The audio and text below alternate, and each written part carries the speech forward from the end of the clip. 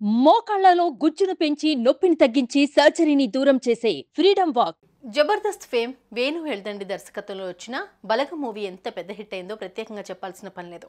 అయితే ఈ సినిమా క్లైమాక్స్లో వచ్చే పాటను పాడి కోట్లాది మందిని కంటతడి పెట్టించారు బుడగ చెంగల కళాకారుడు బలగం మొగలయ్య ప్రస్తుతం ఆయన అనారోగ్య సమస్యలతో మరోసారి ఆసుపత్రిలో చేరినట్లు తెలుస్తోంది. దీంతో మా వద్ద డబ్బు లేదని నా భర్తను ఆదుకోవాలి అంటూ ఆయన భార్య ఆవేదనతో వేడుకుంటోంది.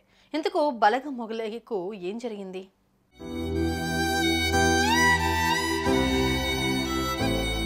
బలగం మొగలయ్య బలగం చిత్రం చివరిలో వచ్చే పాట పాడి అందరినీ ఏడిపించాడు. ఈ పాట అప్పట్లో పెద్ద హిట్ కావడంతో ఆయన పేరు ఒక్కసారిగా మారుమోగింది. ఇక ఈ పాటకు మంచి ఆదరణ రావడంతో ఆ సినిమా డైరెక్టర్ వేణు ఎల్దండి ఆ కళాకారులను సన్మానించి వారికి ఆర్థికంగా తోడుగా నిలిచారు. ఇకపోతే బలగం మొలగయ్య గతంలో అనారోగ్య సమస్యల కారణంగా ఆసుపత్రిలో చేరారు.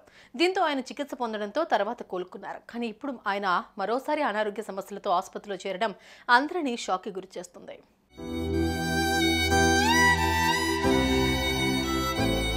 అయితే గత కొంతకాలం నుంచి మొగలయ్య కిడ్నీ గుండె సంబంధిత వ్యాధులతో బాధపడుతున్నారు. తాజాగా ఆయన మరోసారి వరంగల్లోని ఓ ఆసుపత్రిలో చేరడంతో ఆయన కుటుంబ సభ్యులు కంటతడి పెడుతున్నారు. మా వద్ద డబ్బు లేదని ఎలాగైనా ప్రభుత్వం మమ్మల్ని ఆదుకోవాలి అంటూ ఆయన భార్య కన్నీటి పర్యంతమవుతూ ఆవేదన వ్యక్తం చేస్తుంది. అయితే ప్రస్తుతం మొగలయ్యకు వైద్యులు చికిత్స అందిస్తున్నారు. కానీ డబ్బు లేకపోవడంతో దాతలు ఎవరైనా సహాయం చేస్తారని ఆయన భార్య ఎంతో ఆశతో ఎదురు చూస్తోంది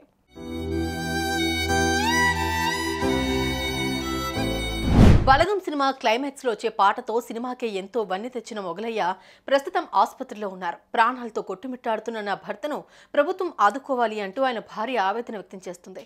మరి ఆదుకోవడానికి ప్రభుత్వంతో పాటు ఎవరైనా దాతలు ముందుకొస్తారేమో చూడాలి మరి.